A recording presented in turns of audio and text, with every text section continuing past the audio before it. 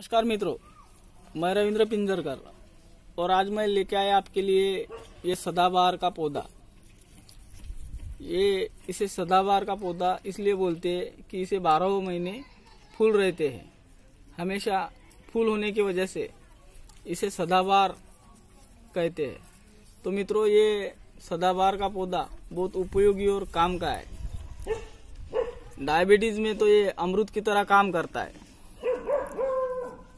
जिनको भी डायबिटीज़ है और किसी दवा से आराम ना हुआ तो इस दवा से 100 परसेंट डायबिटीज़ समूल नष्ट हो जाती है।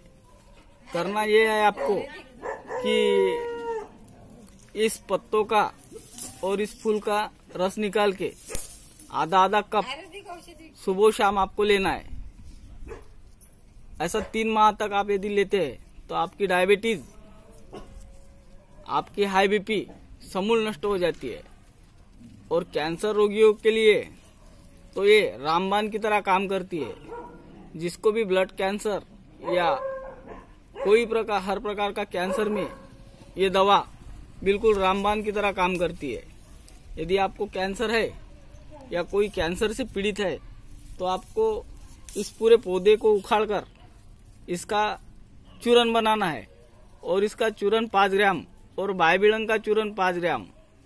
मिलाकर आपको सुबह शाम छः माह तक लेना है। तो यदि आप ऐसा करते हैं तो आपका कैंसर भी समूल नष्ट हो सकता है। तो मित्रों, वीडियो आपको यदि पसंद आए तो मेरे वीडियो को लाइक और सब्सक्राइब ज़रूर कीजिए। धन्यवाद।